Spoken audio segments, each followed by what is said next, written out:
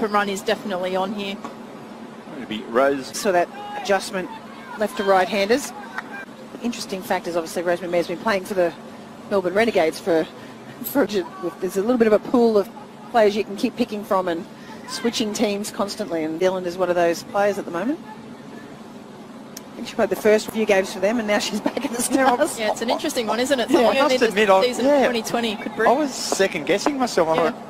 There's not two Rosie Mairs, is there? So, no, there's- and a few of them might get called up late to come in either because she's been really impressive. Had a, yeah, it's really, just really coming along on the scene now in international cricket as a, a genuine opening bowler of, you know, of, of substance and, you know, has that wicket taking ability. Good composure.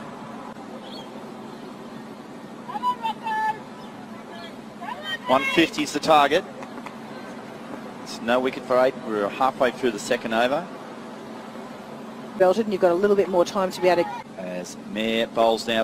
Nice little spot. I know you're staying at Cronulla as well, Robbie, Yeah. in the Sutherland Shire. So Sort of roll a bit different in some areas, us, don't we? Only look in the club rooms earlier. Bill O'Reilly in one year of grade cricket here.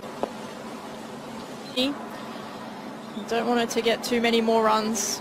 Dealing against Meg Lanning's Yeah. Australian team and then suddenly being a captain by her. It'd be just good insight for her to, well, probably for both teams, in fact, Meg Lanning understanding what Rosemary Mair's trying to do for next time. Maybe they play New Zealand. And competition. Cricket is always and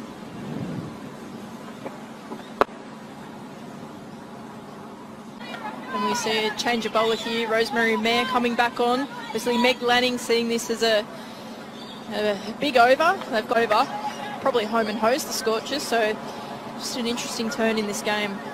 And it presents a really good chance for Nicole Bolton to have a, a good look here, have a bit of time A good thing for the Perth team. here at Hurstville Oval. It's Robbie McKinlay and Rene Farrell.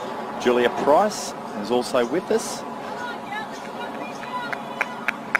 Really impressed looking at Meg Lanning. Haven't seen much of the Melbourne Stars live, but the communication that she had standing thing uh, for just finding her way Yeah, all credit to the that she's played for. Uh, she's